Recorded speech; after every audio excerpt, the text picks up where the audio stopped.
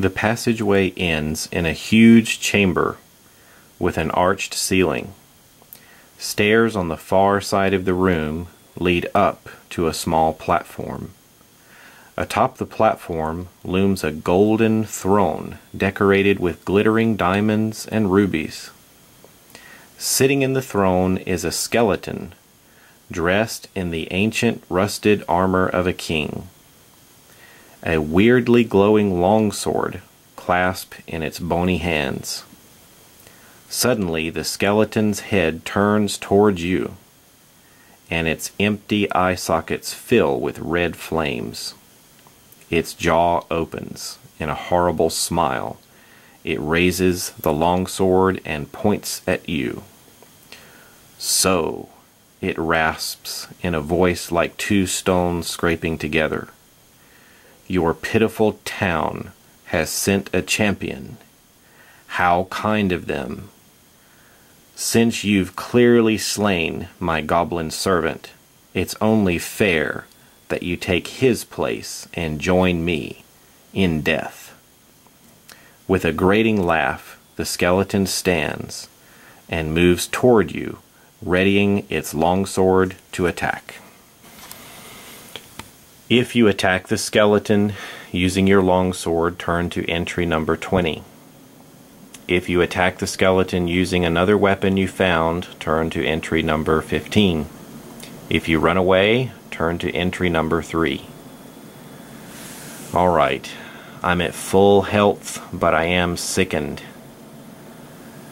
Um, but I also remember that the the boy gave me a warning about what was up ahead and gave me that mace that he had down his uh, back of his shirt like he was some kind of immortal from the Highlander series. so I think I'm going to attack with the mace, entry number 15. Remembering the farm, boy's, farm boy's warning, you leave your longsword in its sheath and grab the mace from your pack. It's time to teach this skeleton a lesson. Well, we can hope so. My attack bonus is plus 6 uh, I think that's actually going to be reduced down to plus 4. Damage is 1d8 plus 3. That's also going to be reduced. And the skeleton's attack bonus is 4. We're going to be the same there. 1d8 uh, damage. 17 armor class for the skeleton and 14 hit points. Wow, this is going to be just sort of mathematically a pretty close battle. Uh, he actually has a little bit of an edge on me with the higher armor class and hit points. So there we go. If you were sickened and the yellow mold in the uh, by the yellow mold in the previous cavern, you take a minus two penalty on your attack rolls for the first three attacks you make during this combat. This penalty reduces your attack bonus to plus four instead of plus six. So three attacks. Alright, well why don't I take this four-sided die and put it on three and I will count down. Or maybe maybe I'll so I won't confuse myself, I'll do it one, two, three. There we go. When I get to uh, get ready to flip it to number four, I'll be healthy, I guess. Here we go. It says you are in combat. Each uh, each round, you and the skeleton each get to make one attack.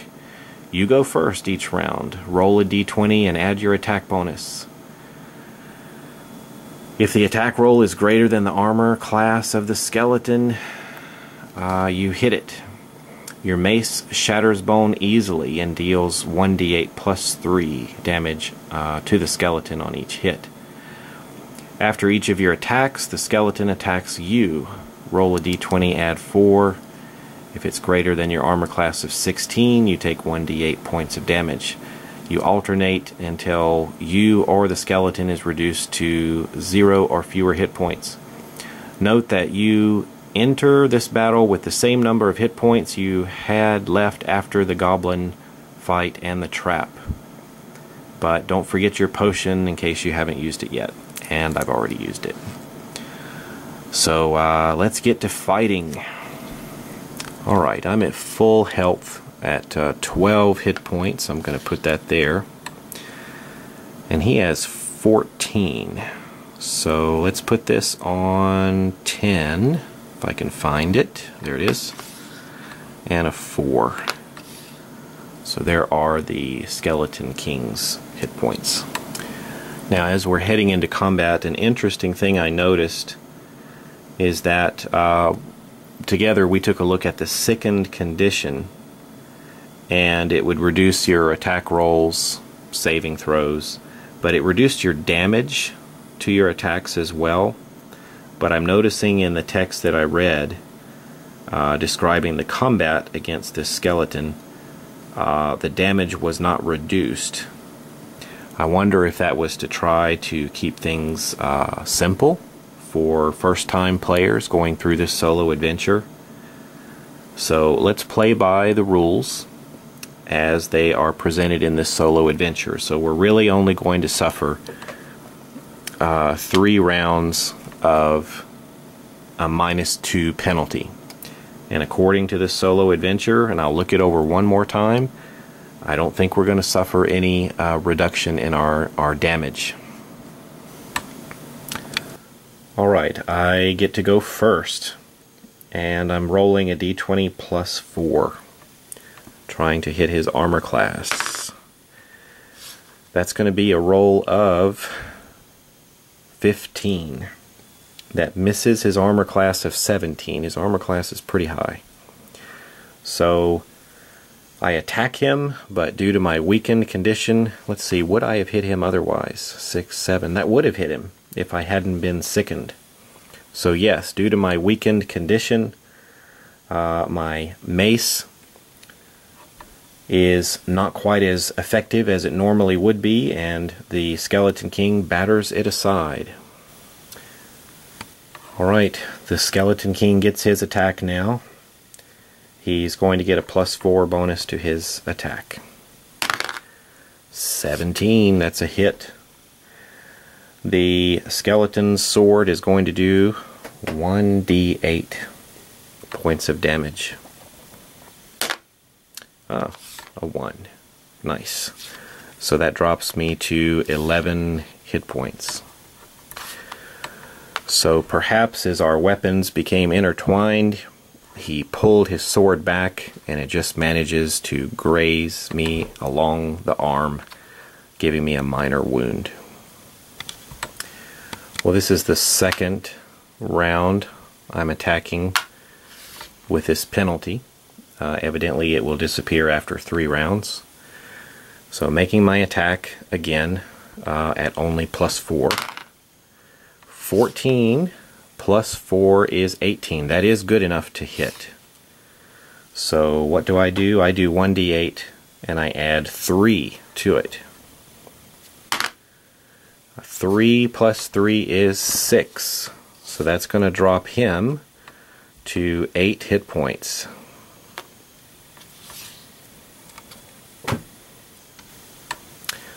Alright, well my mace attack manages to find its way underneath his guard and shatters a few rib bones. I continue to press the attack, sort of pushing him forward. But now it's the Skeleton King's turn. Wow, he hits me again. An 18. 1d8 damage from the Skeleton King. Let's see what we've got. Ooh! Wow. 8 points of damage. That leaves me with 3. So perhaps overconfident in my last hit, I open myself up and the Skeleton King rams his sword into my gut. I'm nearly run through. Alright, I'm going to make my attack now. Uh, plus, let's see, this is the third time I'm attacking him with this penalty. Still sickened. Plus 4, 15. Plus 4 is enough to hit him. Let me roll my damage. It's possible. I could take him out. not with that. So only four points of damage to him. So he drops down to four. So let's see. Let's imagine that his sword is still in my gut. I drop my torch and grab the mace in two hands and ram it into his jaw, cracking his jawbone. Now it's his turn to attack. A 6. A 6 plus 4 is a miss. So the Skeleton King attempts to rip his sword out of my gut, but I manage to grab hold of his wrist, and I'm going to make another attack. So we've had it on three, so I think the penalty is gone. I don't think I'm I don't think I'm sickened this tar this turn. Come on, come on, come on. Let's get lucky. 10 plus 6 because I'm up to six now, that's still not enough to hit, to hit his armor class. So I had hold of his wrist, I raised my mace up in order to go for the killing strike, and he twists his blade and pulls it out and leaps back to safety. I'm standing there bleeding, clutching my side, and he probably gives an evil laugh. All right. Four to three. Skeleton King's turn. Clutching his sword in both hands, he approaches for the kill. 12 plus 4 is 16. That hits me right on the nose. Oh boy. Here we go. Six points of damage. Ah. The Skeleton King comes forward, wielding his sword, and jabs the pointy end right into my throat. Alright, where do we go from here? It says, if you are defeated, turn to entry number 17. You have succumbed to your wounds as the world slowly fades to black. Your last thought is of your friends and family back in town. You regret that you were unable to protect them. Although you have died, the people of Sandpoint still need your help. You can start this adventure over by turning to entry number one and beginning from scratch.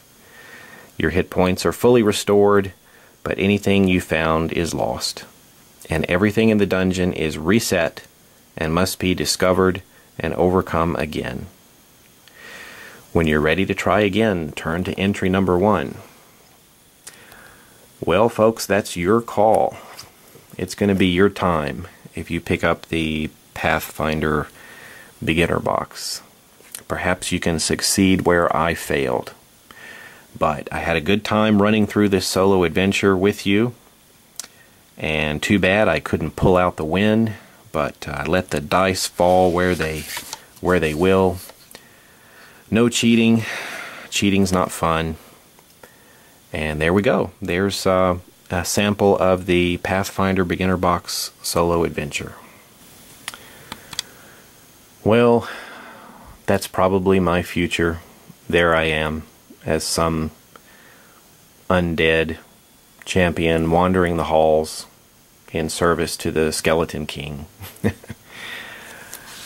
well, I hope you've enjoyed uh, learning a little bit about the Pathfinder game. Uh, I certainly have. And as you can see, to understand the rules, it's very similar to the other versions of Dungeons and Dragons that I've, I've shared on my channel. Uh, in fact, it's um, a bit more simple, uh, just simply rolling the d20 and getting your attack bonus and trying to overcome the armor class. The, the red box was very similar uh, in that way. Um, the difference was, if you can uh, see in, in the play, we didn't have specific stances or combat maneuvers. And to me, this reminds me a bit more of uh, some older versions of Dungeons and Dragons. and and some people will um, what should I say? Some people will like that, and some people won't. What I enjoy about the more simple mechanics here of rolling your dice and and finding out what happens is it it's very interesting for you to sort of make up what happened. You kind of roll the dice, you see how it went, and then the fun part comes when you try to describe what happened. If you know, you were always warned in these different role playing games in the past that if you just roll the dice and say hit, miss, hit, miss, hit, two points of damage, hit, miss, or something like that. You know, I hit him, I missed him, I hit him, I missed him. That is very boring.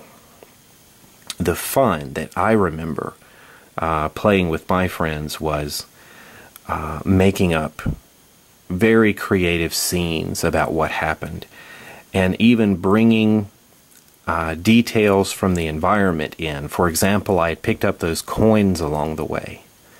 Uh, I had a long sword and a torch. I had the empty potion bottle. Uh, back playing with, with a group of friends that taught me how to play Dungeons and Dragons, we would have probably used all of that.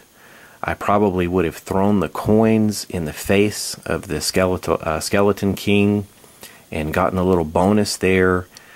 The DM might have even just ruled on the spot that the, that the Skeleton King was distracted and given me a free attack. I mean, all kinds of things can happen, and it's not in the rules. It's just up to you to create because the goal is not to play the perfect game by the rules. The goal is to just simply have a good time.